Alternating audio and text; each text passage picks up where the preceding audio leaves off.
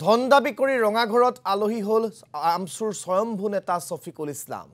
যুৱকক ভয় ভীতি দেখুৱাই আবদ্ধ কৰি ৰখাৰ লগতে চাৰি লাখ টকা দাবী কৰাৰ অভিযোগ ছফিকুল ইছলামৰ বিৰুদ্ধে। এই ঘটনা সংঘটিত হৈছে কলিয়াবৰৰ বৰগুৰিত অসামাজিক কাৰ্যত লিপ্ত থকাৰ অভিযোগত কেইমাহমান পূৰ্বে সংগঠনটোৰ পৰা অপসাৰিত হৈছিল ছফিকুল ইছলাম।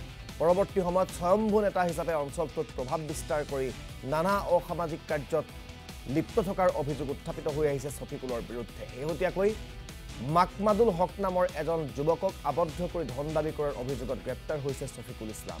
মোবাইলত এগৰাকী যুৱতীৰে চিনাকি হৈ মাকমাদুল নামৰ যুৱকজনে যুৱতীগৰাকীক লগ কৰিবলৈ আহোঁতেই সংঘটিত হয় এই ঘটনা।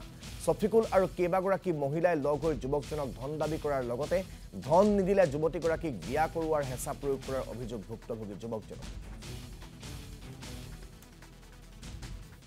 ঘৰত লৈ ব্লক কৰি দিলে।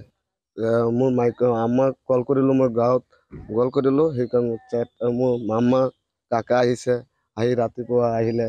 সেই সি কৈ আছে ডেৰ লাখ টকা চাব দুই লাখ টকা তিনি লাখ টকা কৈ আছে। সেই ইয়াতে আছে মই নাজানো ছবিকুলে কৈছে দুই লাখ টকা লাগিব তোমাক চাৰি দিম। ছবিকুলে কৈছে আর কি ছবিকুলটা কৈছে। পরে এনতে পুলিশ লই গিয়া পরে সারার দইরা লইছে আৰু কোনোবা আছে তাৰ লগত? হ্যার লগে আরও আছে। কি নাম? লগে বহুত মানুষ আছিল